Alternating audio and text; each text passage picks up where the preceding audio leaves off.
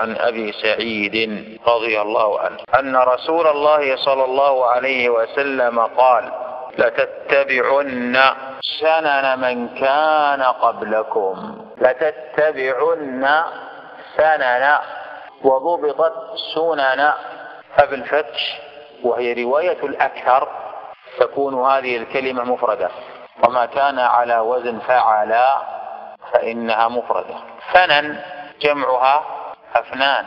سبب أسباب وهلم جرا وأما بالضم فإنه جمع. إذا لتتبعن سنن يعني طريق من كان قبلكم. لتتبعن سنن أي طرق. سنن من كان قبلكم. إن قلنا سنن فلا إشكال في ذلك فإن لهم سننا وطرقا متعددة قد ضلوا وتاهوا فيها. كما قال عز وجل ولا تتبعوا السبل فتفرق بكم عن سبيله.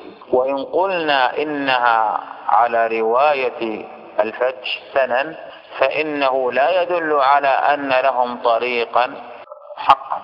لما؟ لأن الله عز وجل قال في سورة النحل وعلى الله قصد السبيل أفرد. ومنها جائر فهناك سبيل جائر ليس حق